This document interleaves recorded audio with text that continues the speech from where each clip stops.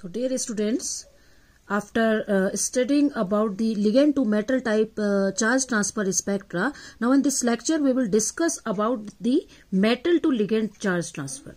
So metal to ligand charge transfer means MLCT. So it is MLCT type transition and you will find that the complexes that show this kind of uh, charge transfer they are uh, absolutely different from that of uh, the the the complexes that shows LMCT type charge transfer.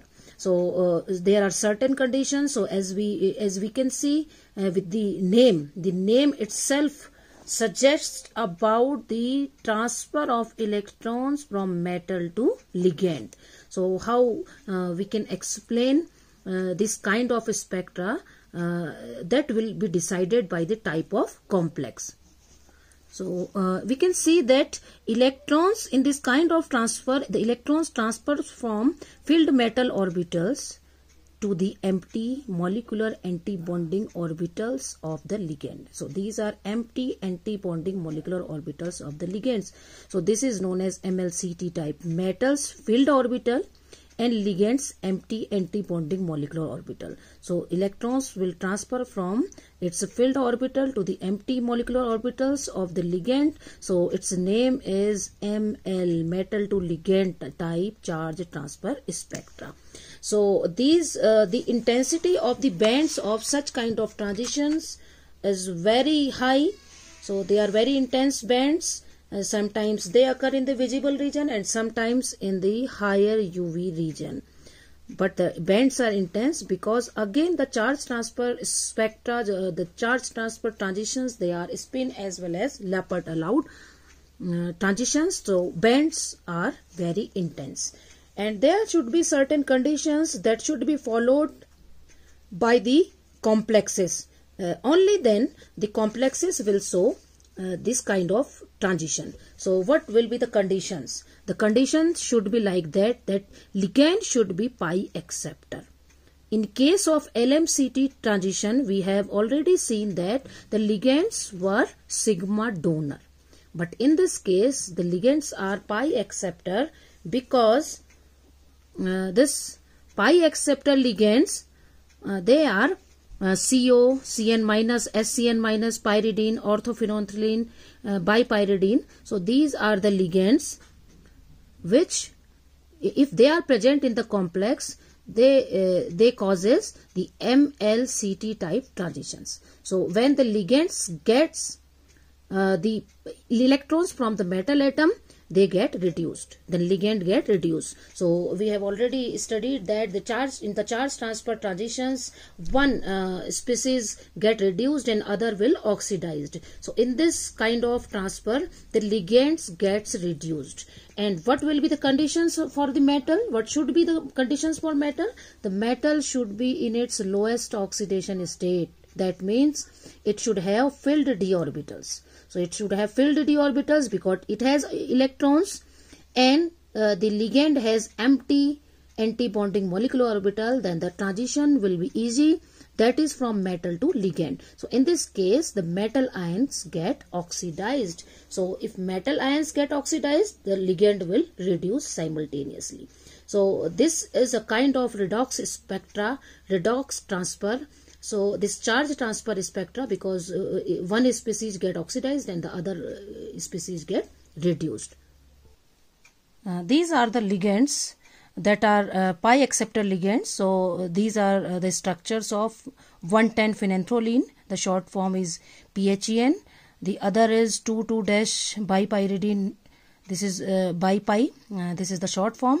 So this is again a pi acceptor ligand and this is dithiolane and this is again a pi acceptor ligand. So if the complex is having these kind of ligands uh, besides this carbonyls cyanides thiocyanides which can accept electron pairs in their antibonding molecular orbital uh, they uh, they causes the m to l type charge transfer in the complexes. Now these are the example of the compounds which shows MLCT type transitions. So this is the potassium ferrocyanide. It is yellow in color and due to the transfer of electrons from this iron to cyanide ligand, it is pi acceptor ligands. Its color is yellow and it is uh, showing the MLCT type electronic transition. In case of this uh, potassium ferricyanide also, the electronic transition uh, takes place from Fe3 plus to Cn minus. This is pi acceptor ligand. So this is M to L type transition. And in case of this compound, this is uh, the phenanthrone compound where the electronic transition takes place from Fe3 plus to phenanthrone. It is pi acceptor ligand. So again, this kind of complex, it shows the charge transfer spectra. These are the other examples which shows the uh, metal to uh, ligand charge transfer spectra. So this is CrCO6. These are carbonyls and this is cyanide compound. This carbonyl complex and cyanide, uh, this uh, carbonyl and cyanide ligands, they are again pi acceptor ligands. And you can see that here in case of carbonyls, uh, the uh, the oxidation state of metals is the lowest oxidation state that is zero. So in this case, the zero oxidation state is stabilized. The zero oxidation state is stabilized because uh, this car, uh, this chromium is fully filled.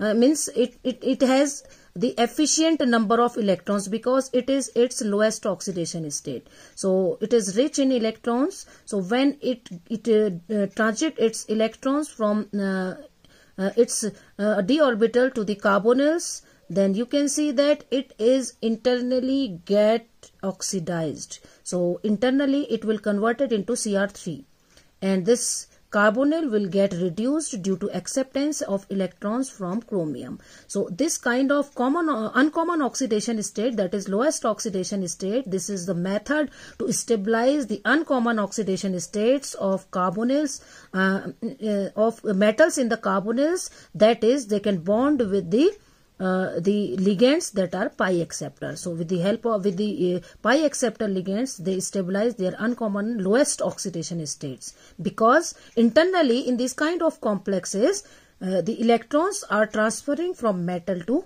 ligand because ligand has empty orbital and metal is rich in electrons because it is in its lowest oxidation state.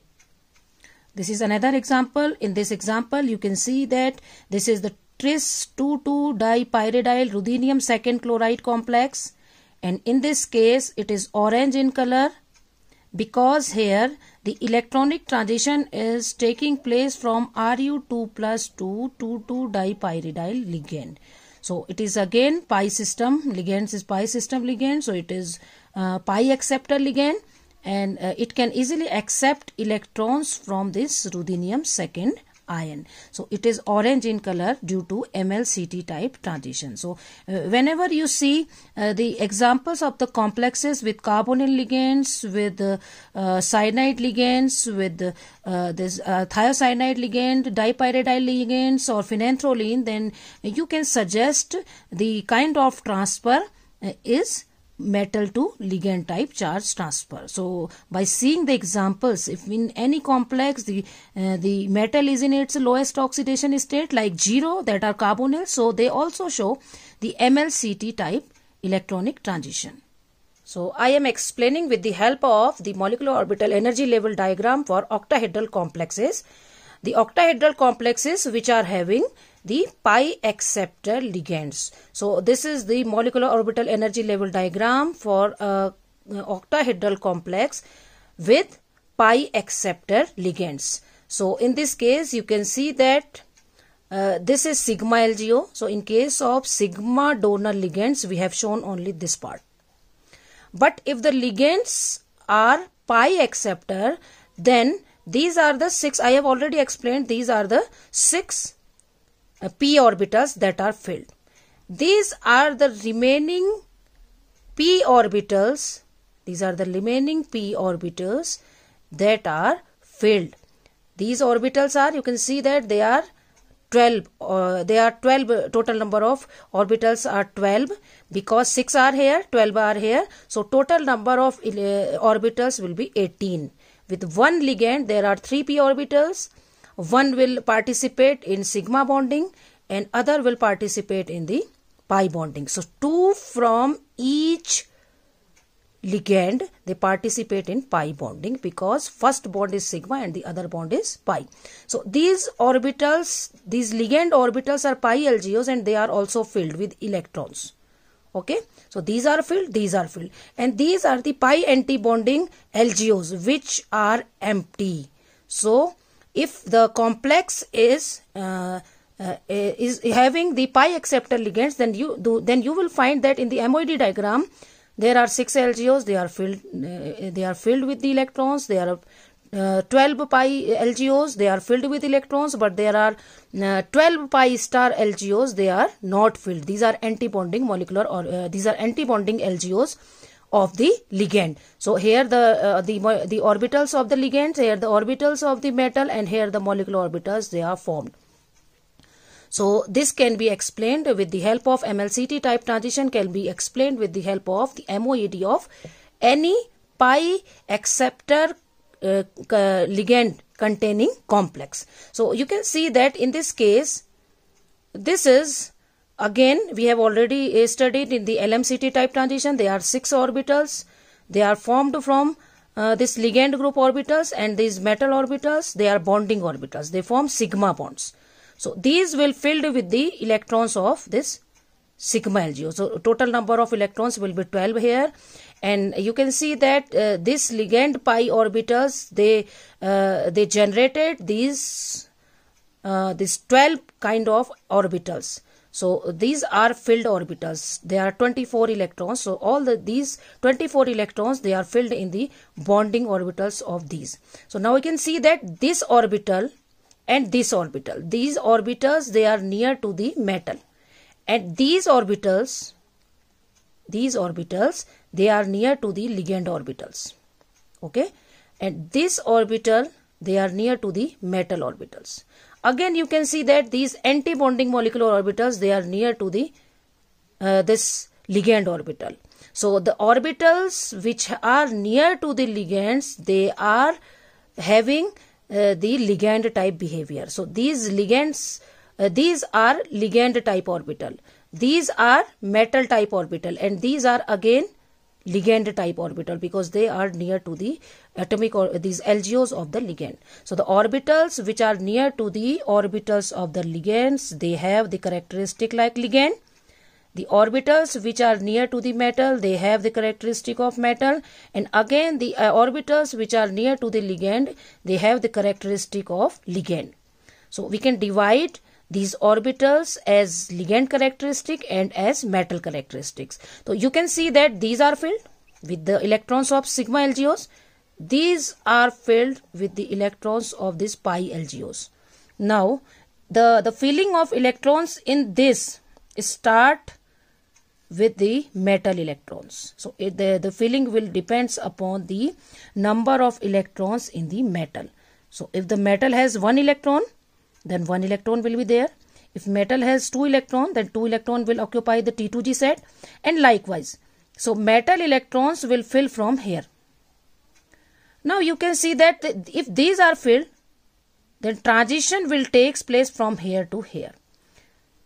These are metal orbitals and these are again ligand orbitals. So those electronic transition will takes place from here to here. So i will i will show you the uh, the zoom of uh, this diagram uh, where from where you can understand about the metal to ligand charge transfer.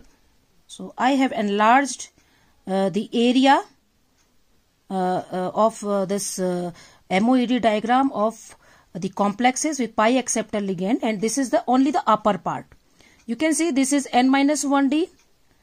Uh, this is T2g. These are metal orbitals. This is the center part. Uh, below this, there are orbitals of uh, this pi LGOs and then the orbitals uh, they are uh, obtained from the sigma LGOs and the metal uh, orbitals. So I have this removed those orbitals. This is from T2G of metal. So this is the central part of uh, the uh, MOED diagram. So you can see that below this the, the orbitals were filled with the help of the ligand orbitals. So those are filled electron orbitals. So uh, we cannot uh, uh, use this orbital for explaining the MLCT type transition because those are filled orbital. Now the electrons in these orbitals they are filled according to the electrons in the metal. So this is the D5 configuration. In this D5 configuration, the all the 5 D electrons they are present in the T2G set. So electron can transfer from this T2G to pi star or from this EG to pi star if there are D7 electron then there will be the chances of electrons uh, the, will be EG in the EG set also. So if 7 electrons so the electrons will be there. So there may be chances of transition of electron from T2G to pi star and if EG also contain the electrons then the chances of electronic transition from EG to pi star. So you can see that there may be the possibility of two kind of transition from T2G to pi star and from EG to pi star. Uh, so uh, this these two orbitals they are having the characteristic of metal because they are near to the metal but these molecular orbitals they ha are having the characteristic of this ligand so they they, they are 12 orbitals so they are regarded as the ligand type orbital. So uh, from metal to ligand. So these are ligand orbitals because they have characteristic uh, uh, similar to that of uh, this ligand orbitals. And these are metal orbitals because they have characteristic uh, similar to that of metal. So this transition is known as metal to ligand. So the transition is from T2G or EG of metal type molecular orbital to the pi anti-bonding empty molecular orbitals of ligand type orbitals. So this is MLCT type transition. I am I will again show you uh, the gist of these two transitions MLCT and LMCT in a single diagram. Then so that you can uh, understand about the difference in between MLCT and LMCT type transitions. Again this is the uh, this is the less complicated uh, molecular orbital energy diagram for the uh, for an octahedral complex which is having sigma this this is having sigma donor uh, as well as pi acceptor ligand. So if the a complex is having uh, pi acceptor ligand then there will be uh, the sigma bond will form because they formed first. So this is the case of the complex with pi acceptor ligands. So I have already shown you but this is the simple diagram uh, to explain both kind of transitions in the uh, single diagram. So you can see that these are 6 LGOs of ligand, these are 6 pi LGOs of the ligand and these are uh, uh these are 12 orbitals and these are 12 uh, pi star orbitals of the ligand LGOs. so these are the energy levels if the ligand are pi acceptor like CO, Cn minus or phenanthroline etc. Then its molecular orbital energy level diagram will contain the sigma LGOs, pi LGOs and pi star LGOs. Okay. Then these are the orbitals. Uh, I have shown only the d orbitals uh, for the simplicity. So these are the d orbitals of metal. So now I, I, I am uh, taking the close up of this uh, diagram. So you can see that these are the bonding molecular orbitals. So these are bonding molecular orbitals and they are near to the LGO orbital. So these have characteristic uh, to that of ligand. Okay. Then these orbitals they are near to the metal. So they are having the characteristic of metal.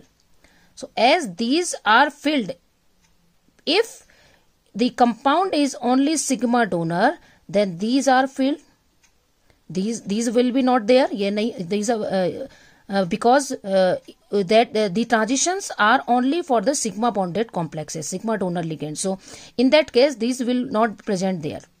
So only this these orbitals will be present if only sigma bonding uh, is there in case of octahedral complex. If the uh, ligands are only sigma donor then these are filled and these are not filled.